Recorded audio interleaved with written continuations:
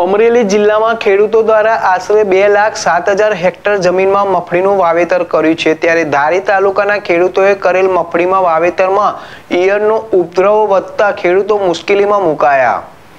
આ છે ધારીના વેકરિયાપરાનો સીમ વિસ્તાર, કે જ્યાં ખેડૂતો ખેતીકામ કરીને પોતાનું ગુજરાન ચલાવે છે. આમ તો ખેડૂતો આ વર્ષે ખેતીલાયક વરસાદ થતા હોંશે હોંશે ભોગા ભાવના બિયારણો લઈને વાવણી કરી દીધી. આ વર્ષે સારી કમાઈ થશે તેવી આશા અને કુદરતની મહેર સમજી. ખેડૂતો દ્વારા મગફળીનું વાવેતર કર્યું, જોકે અમરેલી જિલ્લામાં આશરે બે લાખ સાત હજાર હેક્ટરમાં મગફળીનું વાવેતર થયું છે. ત્યારે વાત કરીએ તો ધારી તાલુકાના ખેડૂતોને પરેશાની આવી પડી છે. મગફળીના છોડમાં રોગ આવ્યો છે, જેમાં ઈયરો દ્વારા છોડના પાંદને નષ્ટ કરી દે છે અને પાંદડા પીરા પડી જાય છે અને સુકાઈ જાય છે. ત્યારે ખેડૂતો ઉપર કુદરત આ વર્ષે મહેરબાન થયો હોય એ પ્રમાણે ખેડૂતોએ પાર માન્યો હતો. પરંતુ ખેડૂતોના મગફળીના પાકમાં અણધારી આફતરૂપી રોગ આવતા ખેડૂતો મૂંઝવણમાં મુકાયા.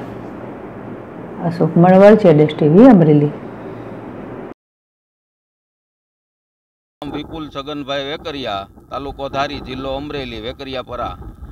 મગફળીમાં ઈયળ ને સુકારાનો પ્રશ્ન બહુ છે અને મોંઘા ભાવની દવા સાટી છે. મોંઘા ભાવના બિયારણો વાવ્યા છે. અને પાક નિષ્ફળ જાહે સતત વરસાદને કારણે. અને આમાં સરકારશ્રીને નમ્ર વિનંતી છે કે આનું કંઈક પગલાં લે, બરાબર? અને આમાં કાંઈ થાય એમ નથી. પોર માંડવી સારી થઈ હતી. ઓણ થાય એમ જ નથી માંડવી. બરોબર?